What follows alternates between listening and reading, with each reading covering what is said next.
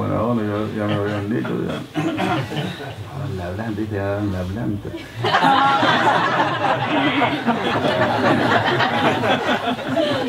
Pero acércate más, pedazo de bruto.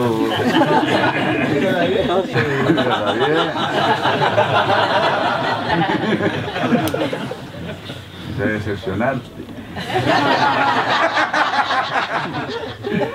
Los legales están en otro, están en otro. Ya pasaron por allá.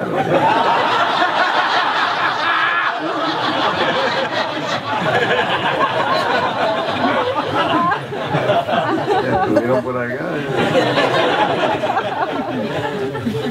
Ya fueron. Como con el desafío allá, ya estuvieron allí. Ya,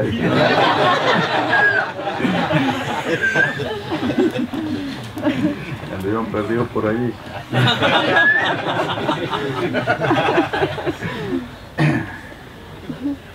Palabra desafío.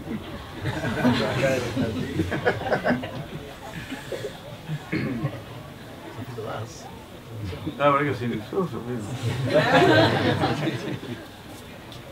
Se lo pone más cuerdo entonces.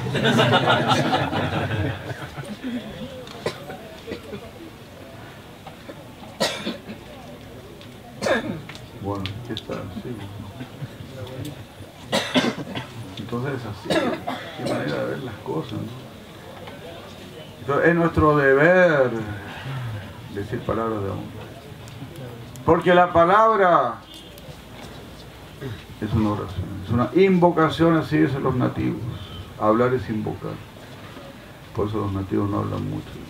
Y cuando hablan, esa palabra tiene peso. Es un bono. Tiene peso. No hablan por hablar. Porque respetan tu conciencia. Porque tu, su palabra va a entrar en tu conciencia, va a entrar en tu corazón. Se dice que las palabras hieren más que las flechas. ¿no? La palabra entra. Por eso los de otros insisten, ¿no? Sravan Kirtan. Ese es, el secreto, de ahí viene todo. Sravan Kirtan. Escuche, llénese, llénese de sabiduría. Usted salga de aquí ya va a estar transmitiendo otra cosa. Se le, va, se, le, se le va a salir, así se le va a escapar. ¿Y dónde estuviste? ¿Qué anduviste haciendo? ¿Por qué te dicen esas cosas tan raras?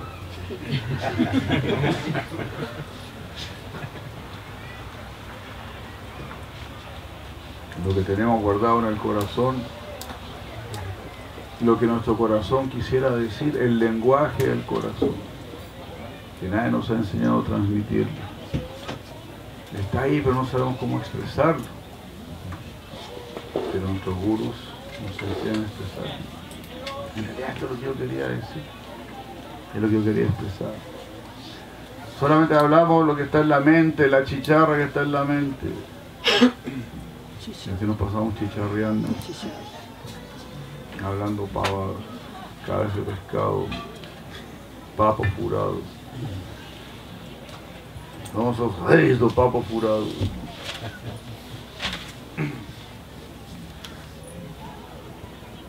Entonces hay que parar con eso, especialmente ahora en Kali Yuga, porque el proceso de, liberación comienza por, la lengua. Jivadu. Spurate. Jivadu. Todo se va a ir revelando. Spurati.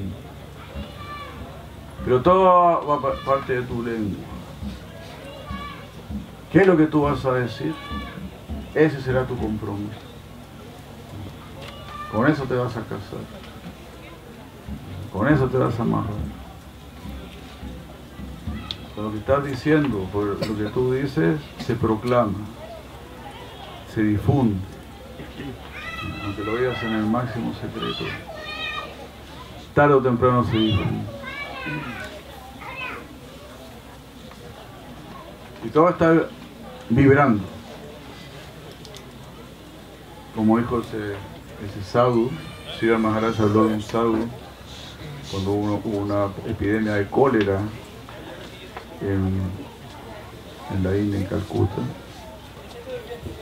Maharaj dijo, un sadhu dijo que el origen de esta epidemia de, cólera son las mentiras que se dicen en la corte. Porque todas esas mentiras contaminaron el éter, el éter contaminó el aire y el aire contaminó el agua.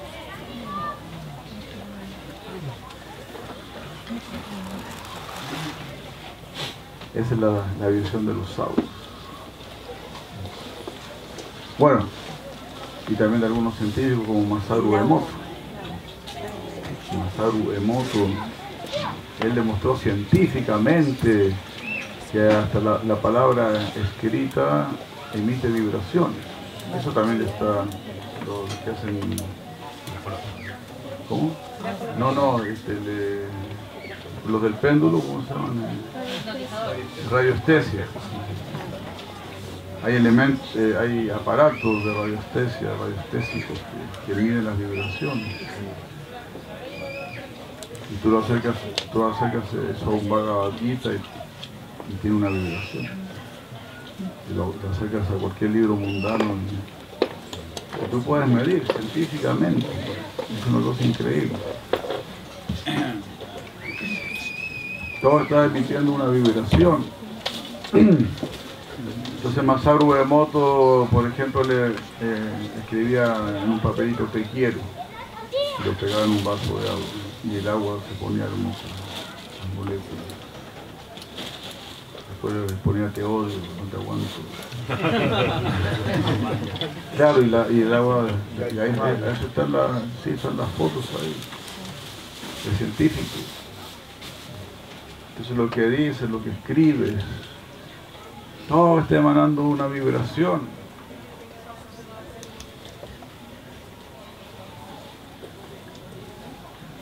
Lo sutil se manifiesta en lo denso.